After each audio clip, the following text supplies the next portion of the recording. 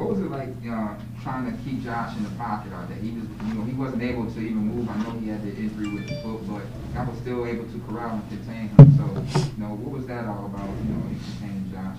Um, you know, it was a focus for us before the game. And he's really elusive, bigger quarterback. Um, but overall, I think we did a pretty good job keeping him in there. Um, it's just everybody as a defensive line working together um, and staying in their rush lanes. So credit to those guys.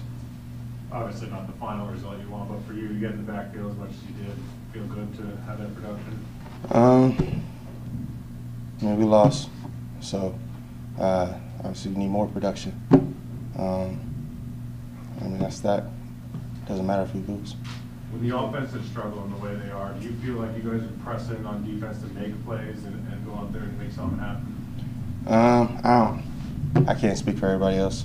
Um, I just think we need to do our. Everybody needs to focus on their job um, and, and not press. Uh, I don't know if anybody is pressing, but um, from my point of view, everybody just got to do their job, stay disciplined, um, and, and not get caught up in uh, what the offense is doing.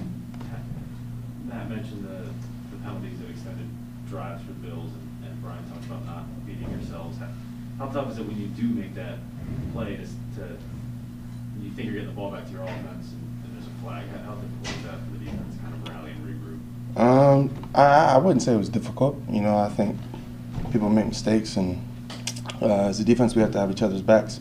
Um, and when the back against the wall, we have to go out there and perform. So, uh, just an opportunity to make a play. That's how I see it. You, Jordan, you are, have not had a ton of playing time. When, when you go out and have a performance like today, do you, do you feel like you kind of make a case to, to get on the field more? Um, honestly, I try not to think like that. I try not to uh, worry about my playing time. Uh, just take advantage of the plays that I do get, and hopefully somebody else will make that decision. What was key to, to your success today? Um, I think it was, you know, the defense working together. Like the first sack, um, you know, I, am not able to make that play if Brian doesn't shut down the screen.